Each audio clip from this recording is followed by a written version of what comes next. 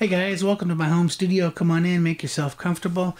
Let me show you what uh, Cakewalk's doing with their updates and how they uh, ask you that you go ahead and proceed with their updates. It's a new program, it's a membership program, and that's a whole nother subject, but I actually think it's very good. But this way, once they roll out the updates, you can get them as soon as they have them available. They don't need to compile them all and maybe make a new release or an update release. If they have a single update, they can go ahead and just uh, have it available, and so that way we'll be able to get it as quickly as possible. But let me show you on the computer here. What they've done is they've created a program called Command Center, and they ask that you download that onto your computer.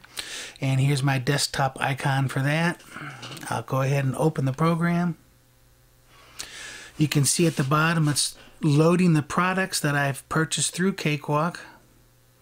And it's also checking for the updates as you can see.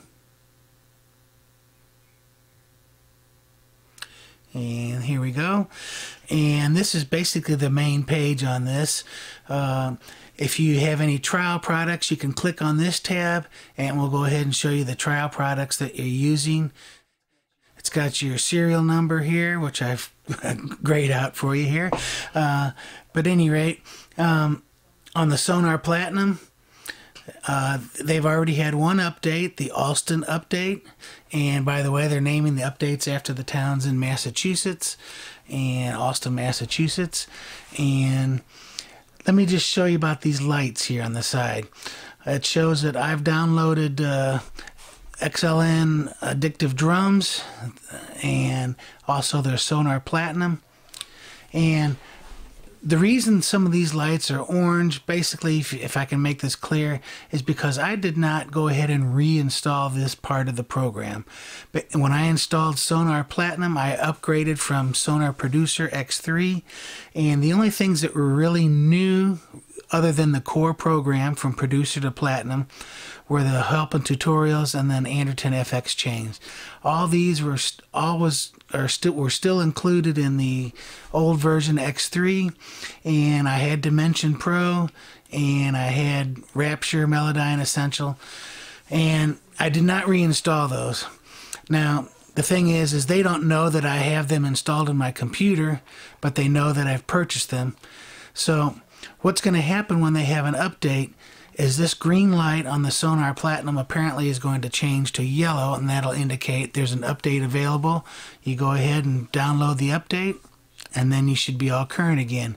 The only thing that I'm potentially missing out on is uh, by not downloading these other programs, Dimension Pro. Uh, if they have an update for Dimension Pro, I won't know about that because uh, I didn't reinstall it again through this uh, through their their current system here. But Dimension Pro hasn't had an update in four or five years, so I'm not really worried about that. But it makes it really easy to go ahead and see about your updates. So as soon as I have a, a Sonar Platinum, uh, the core program uh, has an update, that'll be yellow. We'll click on the update and go ahead and, and install it.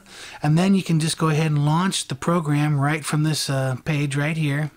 You see it's loading my Sonar Platinum. I can open up a project as typical. And here we go, get started away.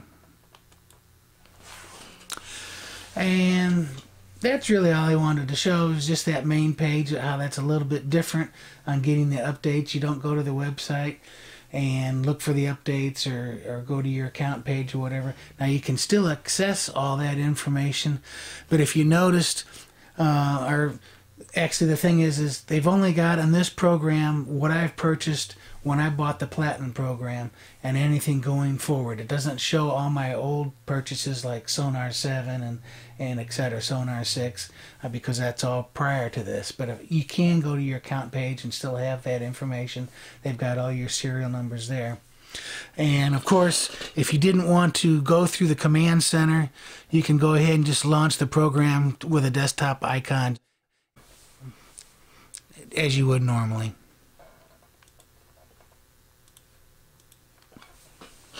And that's it, guys. I'm sure I made that as clear as mud, but it's really simple, and I think it's a good method. I think it's going to work out great. By the way, I'm really enjoying Sonar Platinum. I highly recommend that you jump into the program. It's fantastic. At any rate, thanks for watching the video, and we'll see you next time. Thanks, guys.